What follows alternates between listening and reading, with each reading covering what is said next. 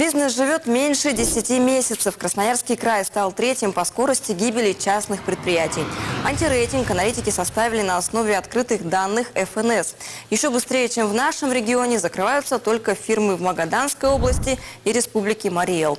В Красноярском крае хуже всего дела идут в сфере продаж табака с напитками и у владельцев автосервисов. При этом в среднем по стране срок жизни бизнеса составил полтора года.